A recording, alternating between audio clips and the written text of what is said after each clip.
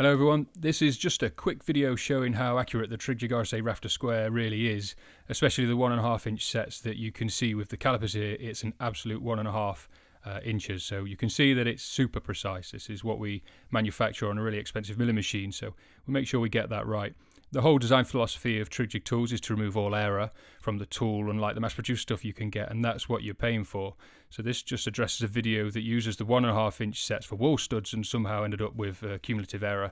I want to show you how the design of the TrigJig square means you can use any marking implement, and that's important because it's not just roofers that use these. We have metal workers, fabricators, bench joiners, just to name a few, and they'll need to use a different marker depending on the material they're working with Cumulative error shouldn't occur if the tool is used how it's designed, and so to help with that, here's just a quick explanation. Everyone will know how you end up with cumulative error. The lead of this pencil is 2.8 millimeters, so if you mark your first line and shuffle the tool along, you, but you ignore the dimension of your marker, you're introducing error. Uh, what's more, if your pencil is blunt or your angle of your pencil is slightly wrong, you can make that error even bigger. And the more sequential marks you make, the more you add to that error. So to counteract that error, you either use a super sharp pencil or you use a one third scribe notches on the one and a half inch line to cover the line that you made previously and line it up like this. So if you can see all of the line that you previously made, and it's depicted here in the drawing, then you're increasing the distance to the next line that you make, thus increasing the error. So you can see that's depicted by the red and the green line. By covering the line up to the edge, you remove the error introduced by the diameter or thickness of the marking implement that you're using, be it a pica or scribe or an engineer's pencil. So here are a couple of unedited demonstrations. If you want to be quick, you can, or if you want to be more precise and take more time, you can do that too.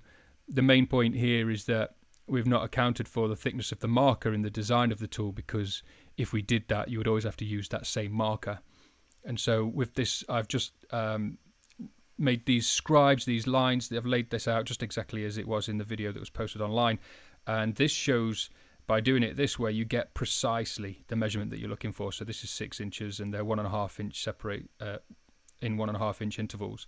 And by using it this way, it's the only tool out of the three that you can use any implement like this because you always cover the line uh, that you make using those one third rafter scribe notches. And it's really quite simple. You can uh, even use it with uh, a super precise uh, engineer's pencil. Uh, this one's 0.7 mil thick lead. And again, it's the same uh, rule. Obviously, the initial error that you introduce here is going to be smaller because the pen, the pencil lead is smaller, the diameter of that is smaller, but it is still there. So you have to account for that each time you shuffle the tool along and so I can do this. It's quite quick. I've obviously trying to do this with a, a, camera next to my shoulder and the lights on the other side, so it's quite tricky. Um, but you can see here, and I'll get the ruler again.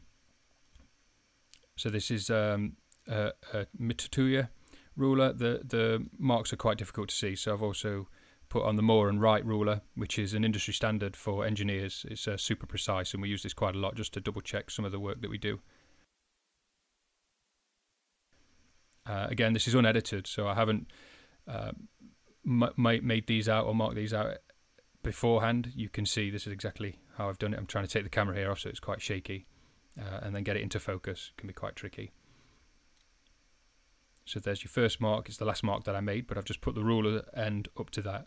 And then you can see there one and a half inches, three inches, uh, four and a half. And then I think I skipped past the six inch because I can't quite see with the light and the small monitor. But the point here is that the tool is super precise. We CNC machine these on a vertical machining center, and the the the the way that cumulative error is introduced is purely by the user or the lead, uh, the thickness of the implement that you use. Um, and the best way to counteract that is to use those scribe notches as depicted in the in the previous graphic. Um, and, you, and it's, it's a brilliant, simple way of using it. So here I use a scribe a metal scribe and so this is probably the most precise of the lot because the tip of this is really really pointy. Uh, so you can get right into the corner. The same rule applies. You just move it across uh, and get that line just right where the green line would have been on the animation. Uh, move it along and there you go and we'll get the ruler out again.